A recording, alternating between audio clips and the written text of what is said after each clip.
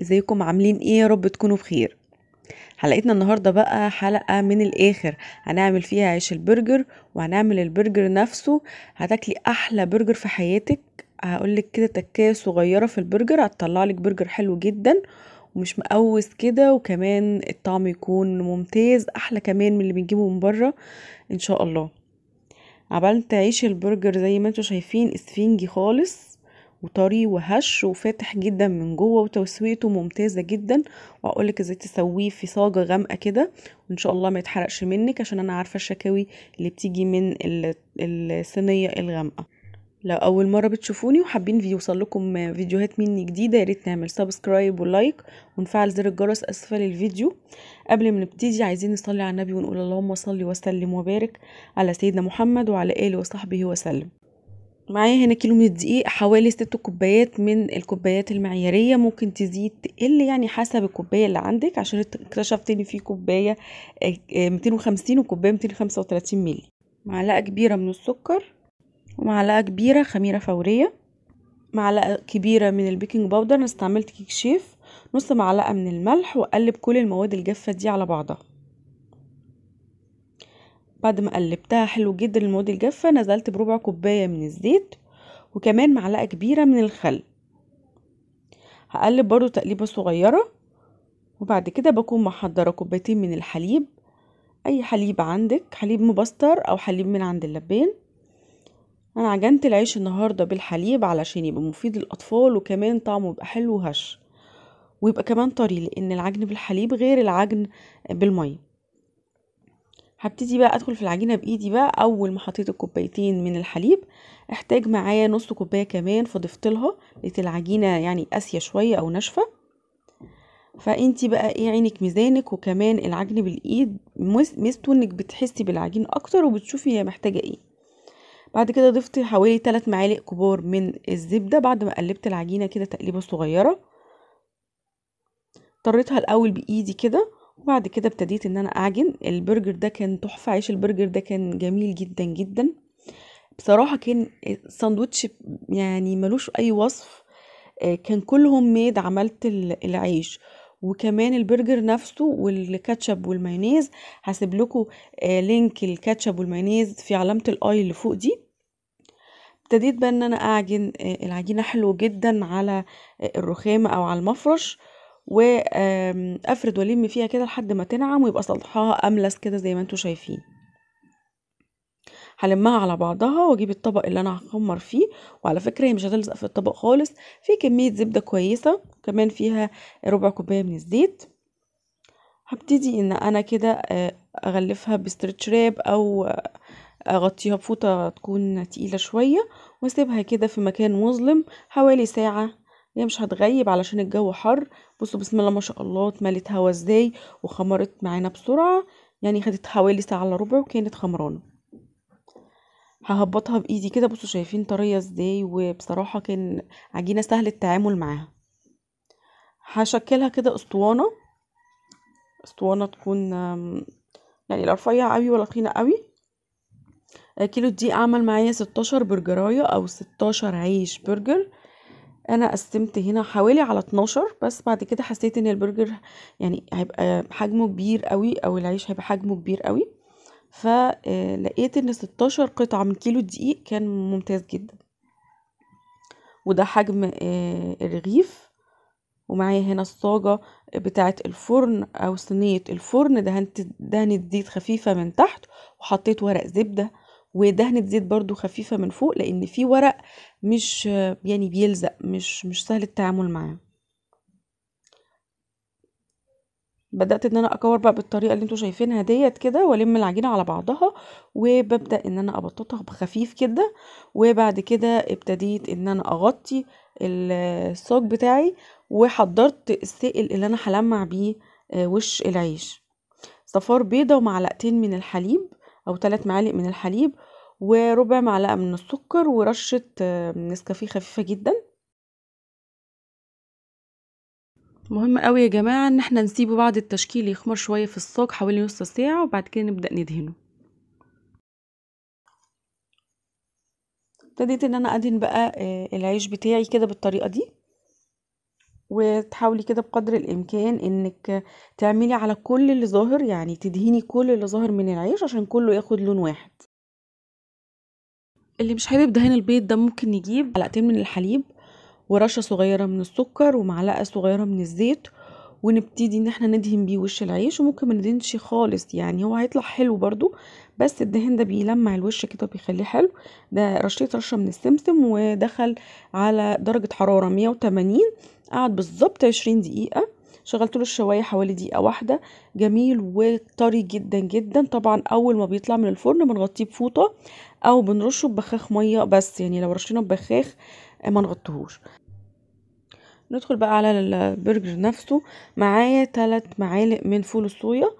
حطيت لهم حوالي نص كوباية من المية واسيبه لحد ما يطرى تماما. بسيبه حوالي عشر دقايق على ما أجهز المكونات التانية. نص كيلو من لحمة تكون فيها نسبة دهون وكمان بصلاية ومعلقة كبيرة من الكاتشب. أخدت الكبة بتاعتي ونتبع كده الخطوات بالظبط عشان يطلع معانا برجر ناعم كده وطري وهيعجبكم إن شاء الله.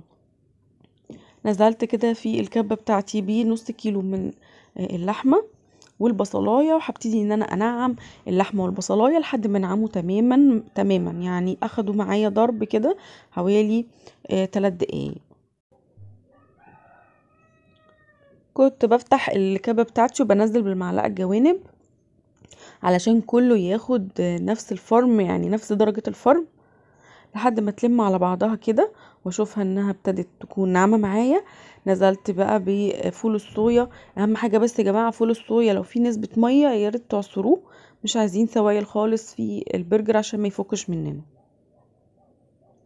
اخدت بقى بيضاية ومعلقة كبيرة من الحليب البودر ومعلقتين مية. وابتديت ان أنا اضربهم مع بعض. هيخلوا الطعم برجر يعني. بصي ما قبل كده في حياتك؟ اللبن البودر مع البيضاية. طبعا البيضة هتعمل على تماسك البرجر وهتنفشه شوية كده. هتخليه يعلى لفوق يعني هو هيكش طبعا شوية لأن ما فيهوش نسبة فول صويا عالية بس هيخليه كده ليه سمك.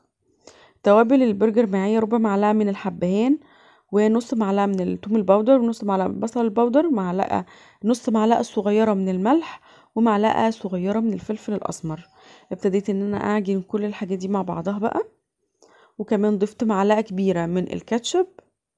وعجنت البرجر بتاعي حلو جدا جدا لحد ما ينعم معايا. هتشوفوا النعومة درجة النعومة بتاعته عاملة إزاي. لو حابين تزودوا نسبة فول الصويا عشان يرمي معاكم أكتر وتبقى موفرة أكتر يعني ممكن معاكم لحد كوباية فول صويا بس بلوه حلو جدا. يعني طروه خلوه يبقى طري حلو علشان لما يتضرب كويس يتضرب مع اللحمة يتضرب كويس. معايا طريقتين لفرد البرجر بتاعي. كيس تلاجة كده وتنيته وابتديت إن أنا أفرد بإيدي وأساوي الأطراف لحد ما بقى يعني قرص برجر عادي جدا. وطبعا كبرته شوية يعني اديته كده سنتي زيادة أو سنتي ونص زيادة لأن طبعا اللحمة بتكش. أخدت بقى شوكة كده وخرمت من النص علشان البرجر ما يقوسش كده ويعمل شكل مش لطيف فمهم جدا يا جماعة إن إحنا نخرم من النص كده بشوكة. الطريقة التانية نجيبه غطا برطمان بس يكون كبير شوية ونشكل فيه البرجر عادي جدا وده يعني الطريقة الأقرب للناس أو الأسهل شوية. بس أنا حبيت أعمله بطريقتين يعني للسهولة يعني عشان ميبقاش أي تعقيد في أي طريقة منهم. ما ينفعش أقولك لازم تعملي كده. طبعا المكبس هيبقى أسهل وأسهل وأسهل من الطريقتين دول يعني الموجود اشتغلوا بيه. خرمت برضو بالشوكة كده بالطريقة دي وقفلت الكيس لأن هيخش الفريزر لازم يخش الفريزر. بعد ما خلصت الكمية كلها طلع معايا ست تسع برجرات مش ستة تسع برجرات. زي ما إحنا شايفين كده دخلته الفريزر حوالي ساعتين لحد ما شد كده ومسك نفسه. وفي طاسة كده سخنة فيها معلقة زيت. ابتديت إن أنا أنزل بالبرجر بتاعي وده طبعا عند التقديم. يعني إحنا بنطلع ونسيبه خمس دقايق بس يفك شوية ونبتدي إن إحنا نسوي. عادي بصوا ده اللي أنا بقول لكم عليه. آه بيبقى فيه سمك كده وطري وجوسي وبصوا يعني في منتهى الجمال ما بياخدش وقت خالص. يعني 3 دقايق على كل جهة بيكون استوى استوى وبقى جميل جدا. طبعا اللحمة آه، مفرومة حلو جدا في الكبة فهتستوي معانا بسرعة. على ما البرجر بتاعنا يستوى عايزه أقول لكم على على ملحوظه صغيرة على السيجون اللي هي الغامق أو صاج الفرن الغامق اللي الناس بتشتكي منه إنه بيغمق وبيحرق الحاجة. يا ريت نقلل درجة الحرارة 10 يعني لو درجة الحرارة مثلا واصفة على 180 خليها على 170 علشان طبعا الغامق الصاج الغامق ده بيجمع حرارة آه، بصورة جامدة يعني. بيخلي لك ممكن الحاجة تلون بسرعة وما تستويش ما تكونش مستوية. تمام؟ دي كانت ملحوظه صغيره نسيت أقول لكم عليها. حطيت زي ما أنتم شفتوا كده العيش أخد كده لون خفيف جدا على الطاسة وابتديت إن أنا أعمل السندوتشات بتاعتي عادي جدا. آه، شوية كاتشب شوية مايونيز آه، خس كابوتشا لو ما عندكيش مش مشكلة.